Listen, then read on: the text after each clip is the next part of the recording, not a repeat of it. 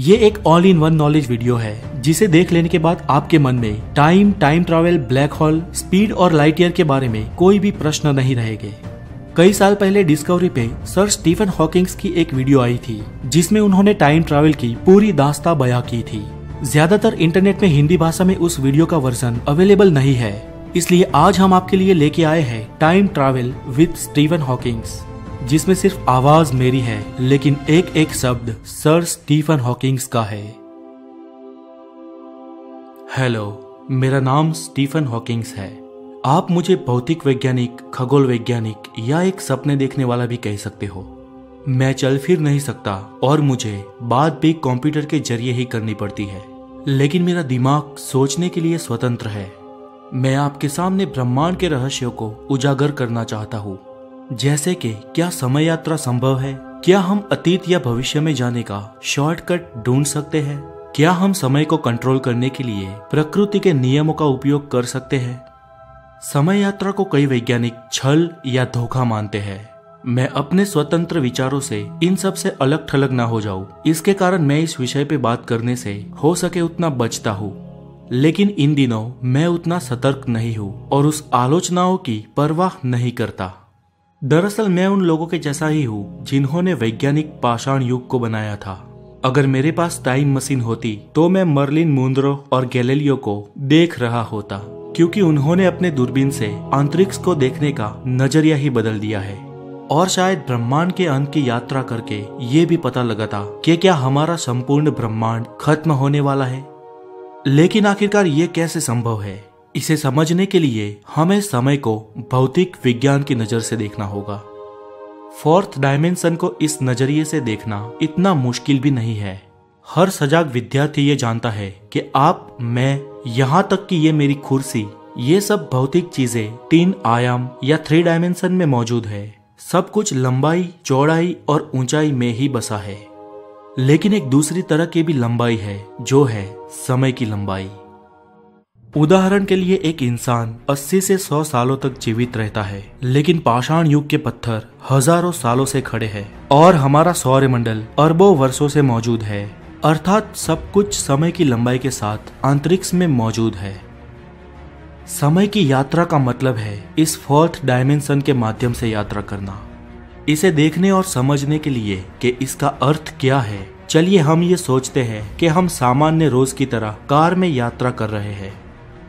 हम सीधी रेखा में कार चलाए तो हम एक ही डायमेंशन में यात्रा कर रहे हैं। दाएँ या बाएँ मुड़े तो हम दूसरे डायमेंशन को भी जोड़ रहे हैं। और किसी पहाड़ी रास्तों में ऊपर नीचे कार चलाए तो हम ऊंचाई या गहराई, यानी थर्ड डायमेंशन को भी जोड़ रहे हैं।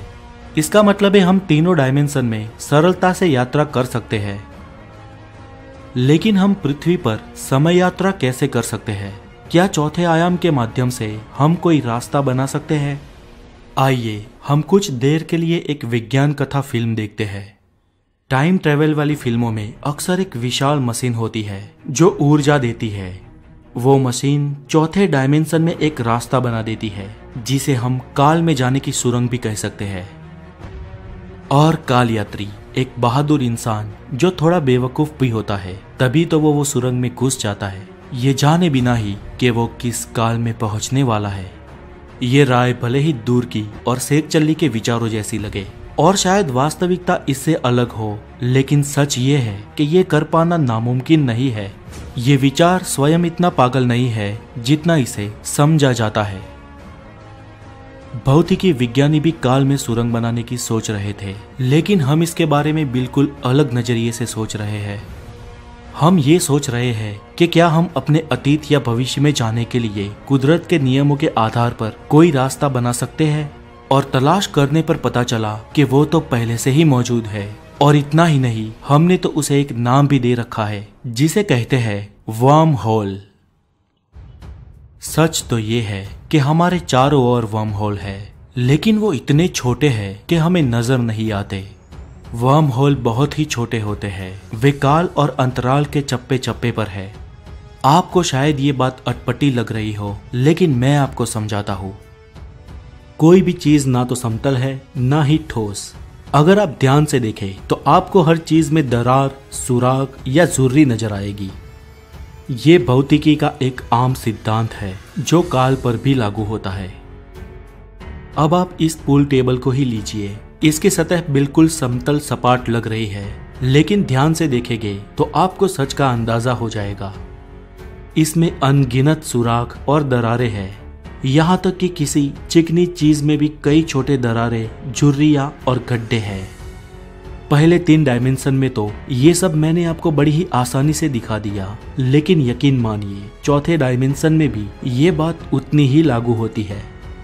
काल या समय में भी छोटी छोटी दरारें झुर्रिया या गड्ढे हैं। अगर बहुत छोटे पैमाने पर बात करें, मेरा मतलब है अणु और परमाणु से भी छोटे पैमाने पर। तो हमें वो मिलेगा जिसे कहते हैं क्वांटम फॉर्म यही वो जगह है जहाँ वर्म होल होते हैं। काल और अंतराल के बीच आने जाने के ये छोटे छोटे रास्ते लगातार बनते और बंद होते रहते हैं। वो इस क्वांटम जगत में हमेशा मौजूद रहते हैं। असल में ये दो अलग अलग जगहों को और दो अलग अलग काल को जोड़ते हैं। लेकिन अफसोस की बात यह है कि ये वास्तविक सुरंगें सिर्फ़ एक सेंटीमीटर के एक खरब अरबवे हिस्से जितनी छोटी होती है। ज़ाहिर सी बात है, उससे कोई इंसान तो नहीं गुजर सकता, लेकिन ये वर्म होल टाइम मशीनें हमारे लिए आधार बन सकती है। कुछ वैज्ञानिक मानते हैं कि इनमें से ही कई सुरंगों को कई खरब गुना बड़ा करके इतना बड़ा बना दिया जाए कि उनमें से कोई इंसान या अंतरिक्ष यान गुजर सके।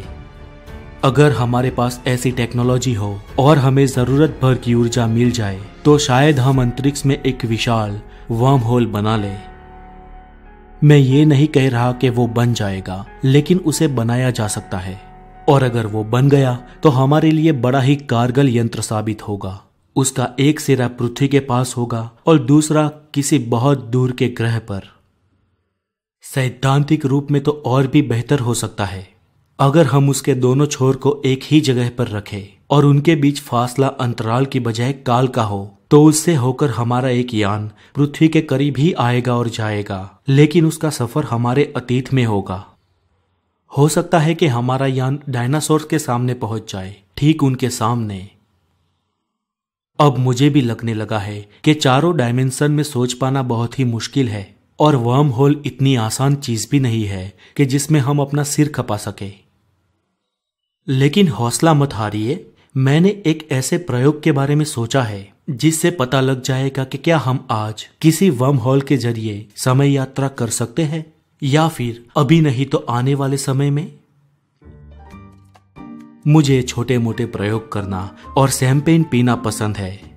मैंने अपनी ये दोनों पसंदीदा चीज़ों को साथ मिलाकर ये देखने की कोशिश की कि काल यात्रा संभव है या नहीं। मैं एक पार्टी दे रहा हूँ, भविष्य की शहर पर जाने वालों के स्वागत पे। लेकिन मामले में एक पेच है, वो ये कि मैं उसके बारे में उन्हें पार्टी खत्म होने के बाद ही बताऊँगा। ये है वो निमंत्रण जिसमें काल और अंतराल के बारे में हर बात लिखी है। मुझे उम्मीद है कि इसकी एक कॉपी किसी न किसी रूप में कई हज़ार सालों तक बची रहेगी। हो सकता है कि किसी ज़रिए ये भविष्य के किसी जीव को मिल जाए और वो वर्म होल टाइम मशीन के ज़रिए मेरी पार्टी में आने की कोशिश करे। इससे ये साबित हो जाएगा कि एक दिन काल यात्रा ज़रूर संभव होगी। और अब वो काल यात्री मेहमान यहाँ आते ही होंगे। पाँच, चार, तीन, दो, एक। कोई नहीं आया। मैं तो सोच रहा था कि भविष्य की मिस यूनिवर्स मेरे पास आएगी, पर मेरा ये प्रयोग असफल क्यों रहा? इसकी शायद एक वजह यह है और वो वजह बड़े लंबे समय से अतीत की काल यात्रा से जुड़ी हुई है। वो समस्या है विरोधाभास की। विरोधाभास के बारे में सोचकर ही हँसी आती है। इनमें से सबसे बड़ा है जिसे हम ग्रैंड फादर पैराडॉक्स कहते हैं।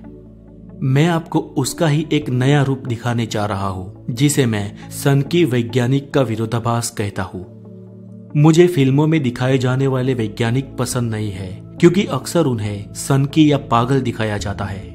लेकिन ये वास्तव में सन की है। ये एक विरोधाभास बनाना चाहता है और उसके लिए अपनी जान भी देने के लिए तैयार है।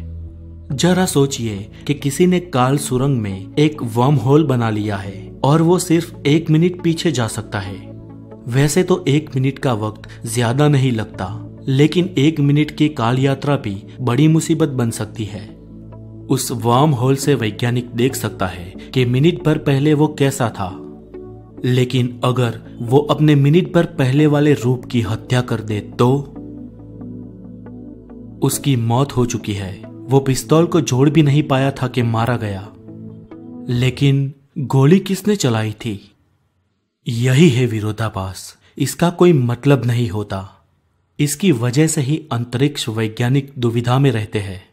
इस तरह से वो बुनियादी नियम ही टूट जाएगा, जिस वजह से पूरा ब्रह्मांड चल रहा है। इससे हम किसी काम का अंजाम तो देख सकते हैं, लेकिन उसे बदल नहीं सकते। मुझे नहीं लग रहा कि कोई चीज़ खुद को नामुमकिन बना सकती है। और अगर वो ऐसा कर पाती तो पूरे ब्रह्मांड को अफरा तफरी में जाने से कोई नहीं रोक सकता। इसलिए कुछ ना कुछ ऐसा होता है, जो विरोधाभास को रोकता है। इसकी कोई ना कोई वजह तो ज़रूर है कि हमारे वैज्ञानिक कभी इस हाल में नहीं पहुँचते कि खुद को गोली मार दे। मैं माफ़ी चाहता हूँ, लेकिन इस मामले में उस समस्या की जड़ वो वर्म होल ही था। मैं तो इस नतीजे पर पहुँचा हूँ कि इस तरीके के वर्म होल का वजूद ही नहीं हो सकता। इसकी वजह है फीडबैक। अगर आप किसी संगीत समारोह में गए होगे तो इस आवाज़ को पहचानते होगे। यही है फीडबैक वजह भी बड़ी मामूली सी है। आवाज़ माइक्रोफोन में जाती है। वो तारों से होती हुई आगे बढ़ती है और एम्पलीफायर से तेज होकर स्पीकरों के ज़रिए बाहर आती है। लेकिन ये स्पीकरों से निकली हुई आवाज़ माइक में बार बार वापस जाती है तो उसका एक लूप बन जाएगा और आवाज़ लगातार तेज होती जाएगी। अगर उसे रोका नहीं गया तो वो फीडबैक पूरे साउंड सिस्टम को ही नष्ट कर देगा। मुझे लगता है कि वर्म होल के साथ भी यही होता है, लेकिन उसमें आवाज़ की जगह रेडिएशन होता है। जैसे ही वर्म होल बड़ा होता है, कुदरती रेडिएशन उसके अंदर जाता है और उसका एक लूप बन जाता है।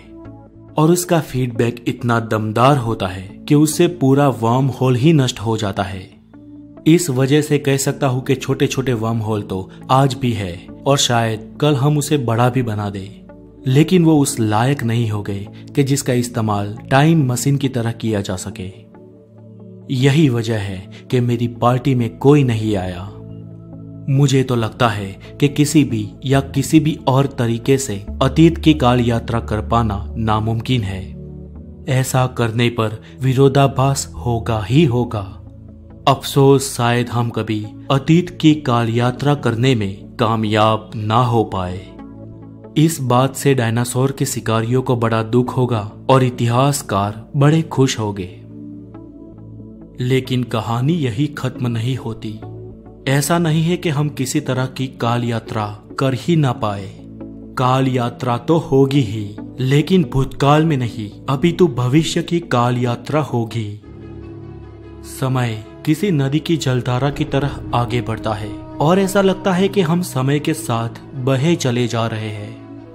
लेकिन समय एक दूसरे तरीके से भी नदी जैसा है।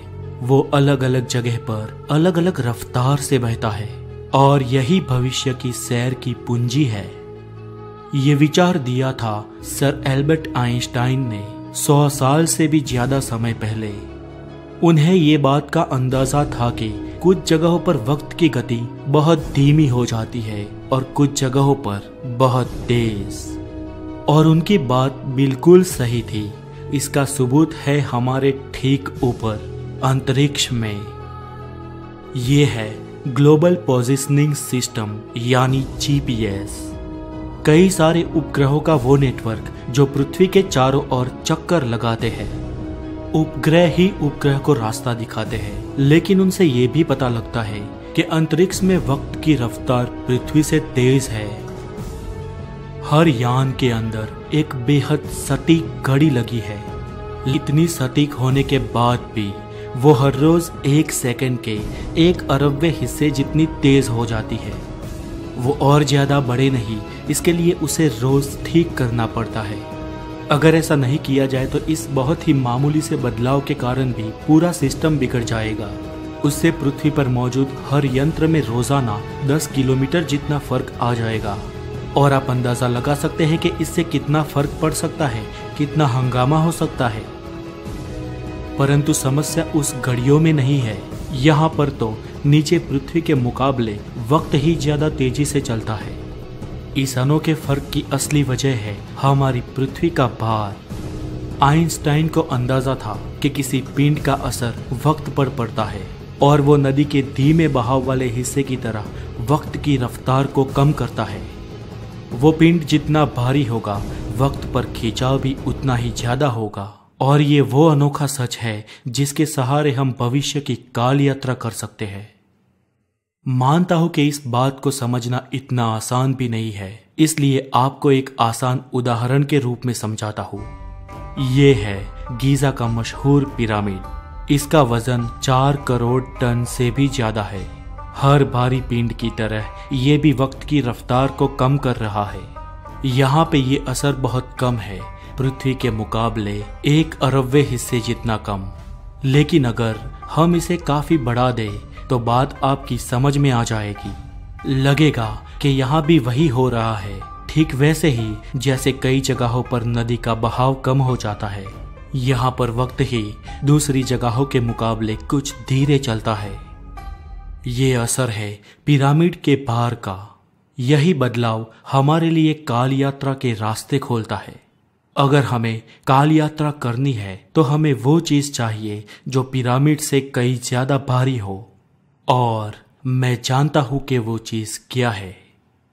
हमारी आकाश गंगा के केंद्र में हमसे करीब छब्बीस हज़ार प्रकाश वर्ष दूर मौजूद है।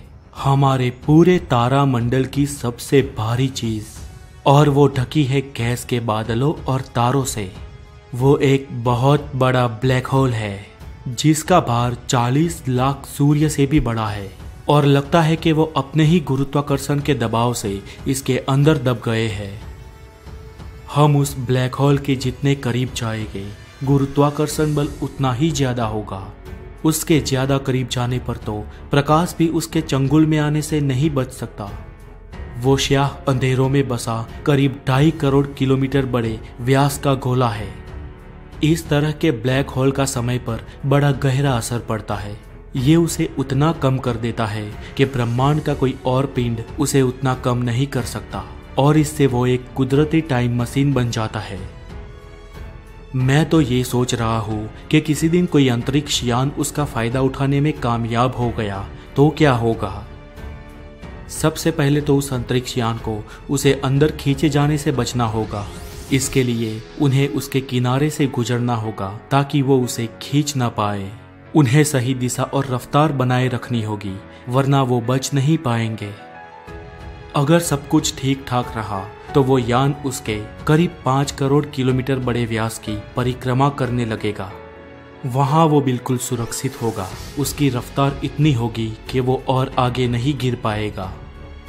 उस अभियान पर अगर कोई स्पेस एजेंसी पृथ्वी या उस ब्लैक होल के काफ़ी दूर से नियंत्रण रख रही होगी तो उसे लगेगा कि उसका यान 16 मिनट में एक चक्कर लगा रहा है।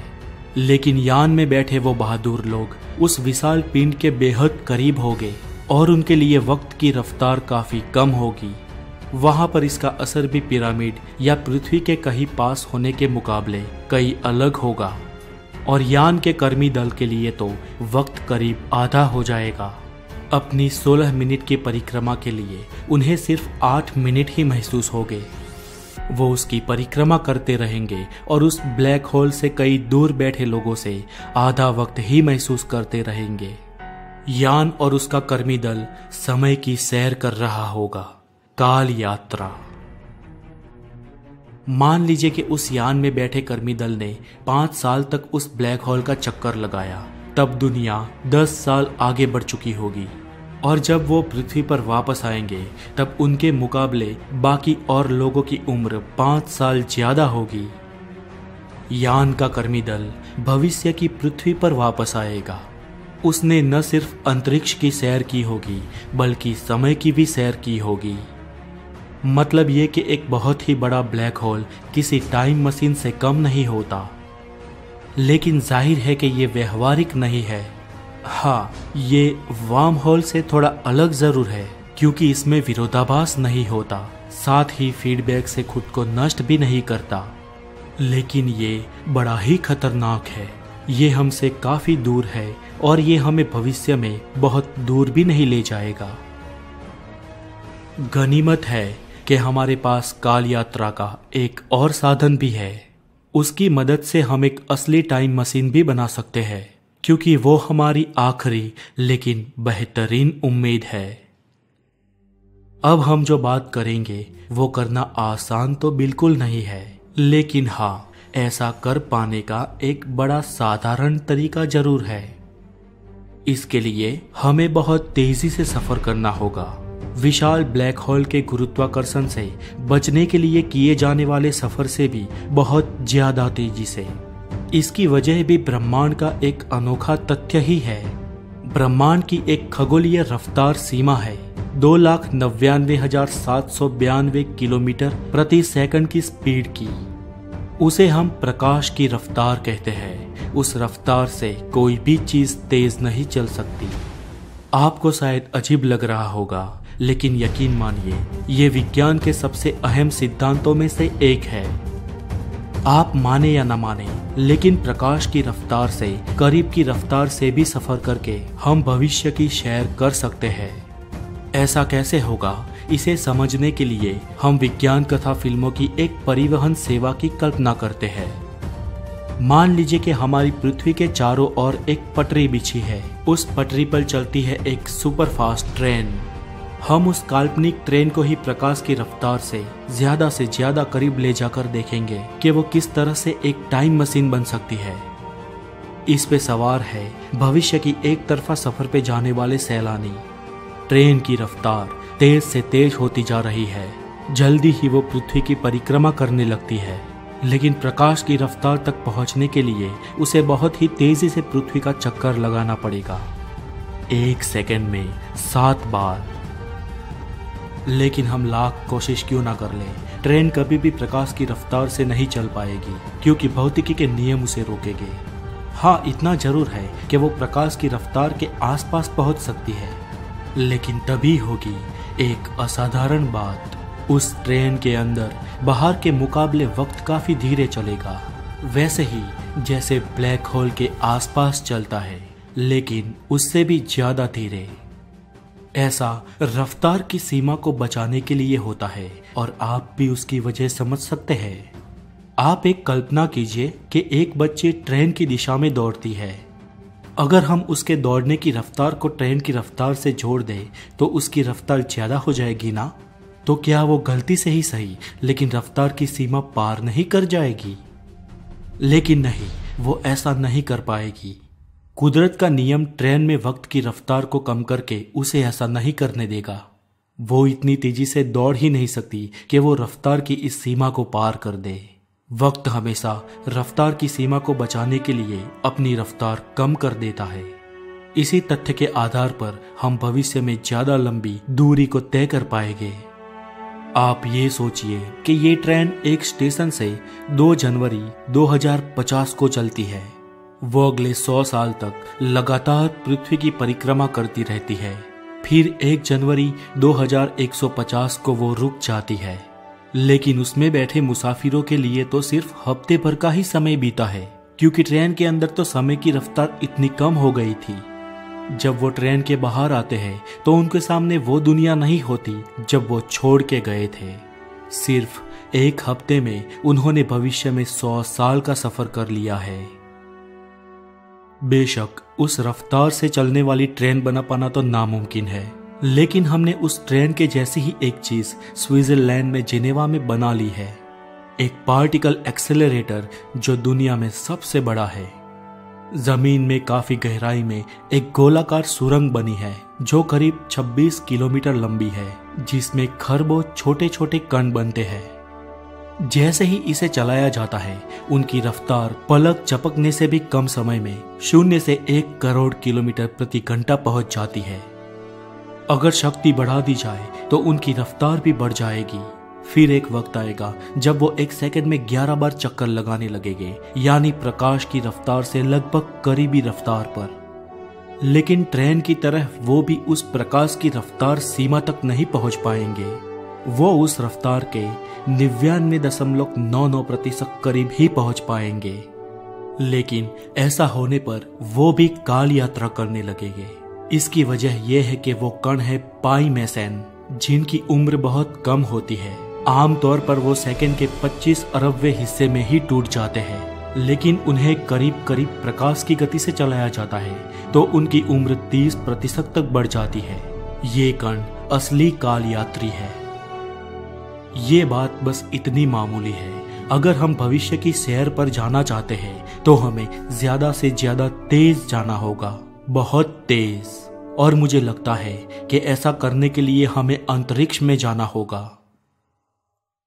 भविष्य की काल यात्रा के लिए हमें रफ्तार बहुत ज़्यादा तेज चाहिए।